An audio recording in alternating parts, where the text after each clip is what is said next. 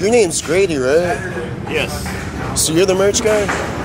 I am a, I'm a what? You're the merch guy? Yeah, I'm the merch guy. Cool. I uh, sell merch and bananas out front.